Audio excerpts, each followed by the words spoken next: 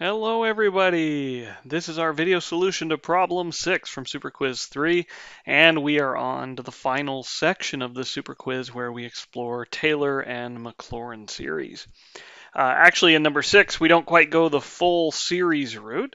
Uh, we're actually just going to stick with the fourth order Taylor polynomial.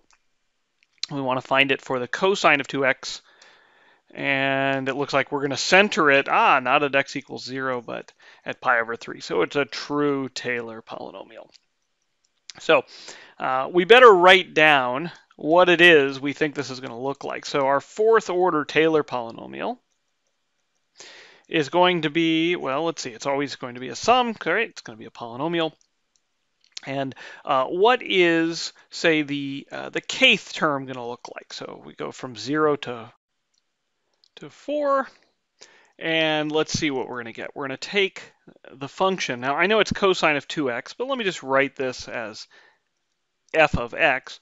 I'm going to take the kth derivative of f, evaluated at the center, which is pi over 3, divided by k factorial, times the kth power of the difference between x and the center, pi over 3.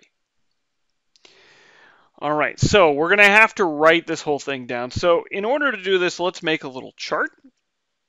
So let's see, our k is going to run between 0 and 4. So 0, 1, 2, 3, and 4. And we're going to need the kth derivative of f. So let's write down then all the kth derivatives. And then, of course, we're going to need to evaluate that kth derivative at pi over 3. So the zeroth derivative, that's just defined to be the function itself. So this is cosine of 2x. And then I'm going to start taking derivatives, right? So let's see, the derivative of cosine is negative sine. By the chain rule, I get an extra 2.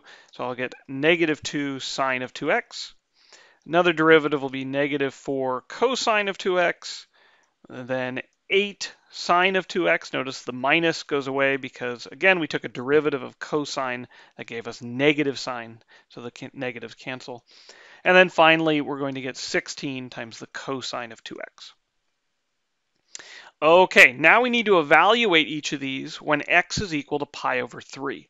Now in each case, we're going to get 2x, so 2 times pi over 3. So 2 times pi over 3.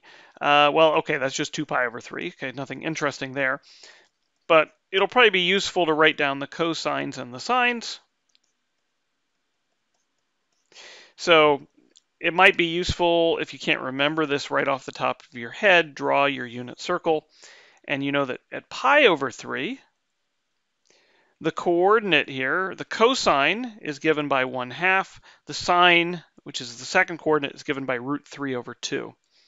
So if you do 2 pi over 3, we know the coordinates are going to be negative 1 half and root 3 over 2. So the cosine is negative 1 half and the sine is positive root 3 over 2. Okay, so now we can use that to evaluate all these kth derivatives. So here we just have the cosine of 2 pi over 3, that'll be negative 1 half. Uh, negative 2 times the sine, that's just going to be negative the square root of 3. Uh, negative 4 times the cosine, that's going to be positive 2. 8 times the sine, that'll be 4 times the square root of 3. And 16 times the cosine will be negative 8. Okay, so now we have all the data. So here we go. When k is equal to 0, we get the zeroth derivative, which is negative a half, over 0 factorial. So negative a half over 0 factorial times x minus pi over 3 to the 0. Okay, when k is equal to 1, we're going to get negative root 3 over 1 factorial, and then x minus pi over 3 to the 1. Okay, what about when k is 2? We'll get 2 over 2 factorial, x minus pi over 3 squared when k is equal to 3. We're going to get 4 root 3 over 3 factorial x minus pi over 3 cubed. And finally, when k is equal to 4, we'll get negative 8 over 4 factorial x minus pi over 3 to the fourth.